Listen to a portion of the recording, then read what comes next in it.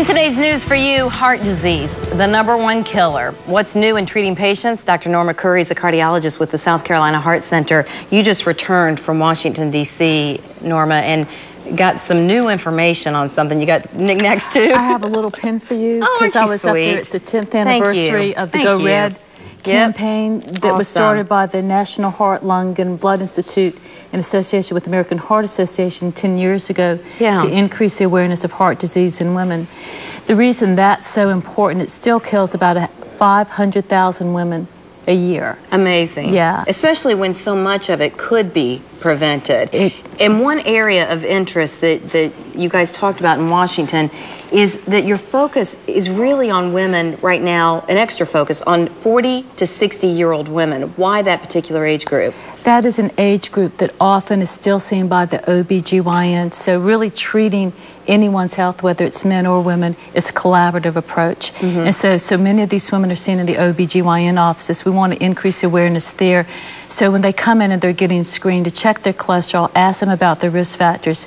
Women who are particularly at risk are those who have diabetes during pregnancy or hypertension. That increases their risk in the future.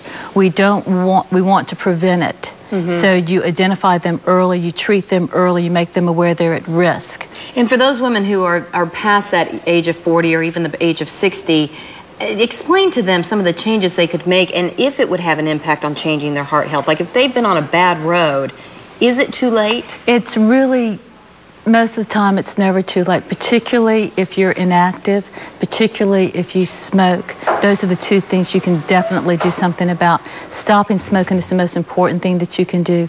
If you're inactive, if your body mass index is high, you can lose some weight.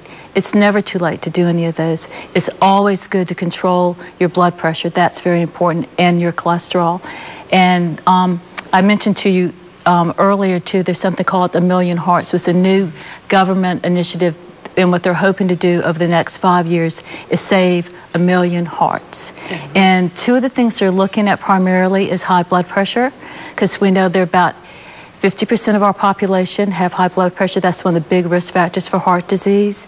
That is not well controlled. And the other one is smoking. Mm -hmm.